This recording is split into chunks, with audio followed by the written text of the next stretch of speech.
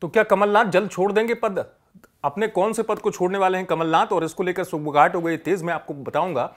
दरअसल, मध्य प्रदेश में कांग्रेस अध्यक्ष का तो दायित्व संभाल रहे हैं कमलनाथ, लेकिन उसके बाद नेता प्रतिपक्ष का दायित्व भी उनके पास ही है। तो इस बीच सियासी गलियारों में ये चर्चा क्यों तेज हो गई कि अब कमलनाथ जो है, पद छोड़ सकते हैं? कौन सा पद छोड़ सकते हैं? यहाँ जानने वाली बात यह है। और क्यों ऐसी स्थिति बन रही है कि कहा जा रहा है कि कमलनाथ अपना पद छोड़ देंगे।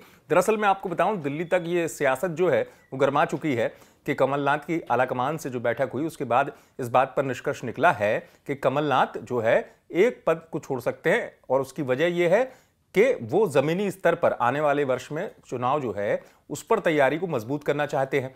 यही वजह है कि सोमवार को उन्होंने अहम बैठक बुलाई है और इस अहम बैठक में ये एक निर्णय हो सकता है कि कमलनाथ इस तरीके की रूपरेखा तय करें कि नेता प्रतिपक्ष जो है, वो कौन हो सकता है? क्योंकि इस लिहाज से ये बैठक काफ़ी अहम मानी जा रही है। हालाँकि आपको यह बता दूँ कि कमलनाथ के कांग्रेस अध्यक्ष बने रहने की बात जो है, ये बात अभी तेज़ी से इस बात पर कायम है कि कमलनाथ जो है संगठन की पूरी कमान अपने पास ही रखेंगे। सदन में नेता प्रतिपक्ष का चेहरा कोई और भी हो सकता है। आलाकमान से जैसे चर्चा हुई है, जिसकी चर्चा जो है दिल्ली में हुई, आलाकमान से मुलाकात के बाद तेज हो गई है और ये कहा जा रहा है कि अगर कमलनाथ नेता प्रतिपक्ष का पद छोड़ते हैं तो मध्य प्रदेश में अगर वरिष्ठता के आधार पर देखा जाए तो संभवतः गोविंद सिंह जो सबसे बड़े दावेदार माने जा रहे हैं, उनके नाम पर मोहर लग सकती है। या बाला बच्चन, जो कमलनाथ के नज़दीक माने जाते हैं, उनके नाम पर मोहर लग सकती है।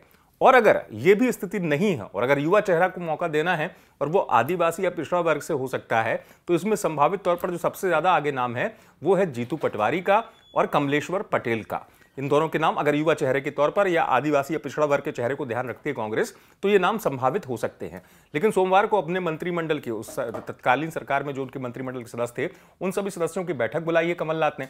और इस बैठक में कहा जा रहा है कि रूपरेखा बनेगी, चुनाव को लेकर तो रूपरेखा बनेगी ही। साथ ही साथ अगर कमलनाथ ये नेता प्रतिपक्ष का पद छोड़ रहे हैं तो वो संभावित तौर पर चेहरा कौन हो सकता है? इस बात की सहमति बन जाएगी, क्योंकि कमलनाथ भी जान रहे हैं इस चीज़ को। और जैसे कि एक सहमति बन रही है कि कमलनाथ एक पद को संभालें तो ऐसी स्थिति में नाम तय हो सकता है। आप देखते रहें एमपी तक।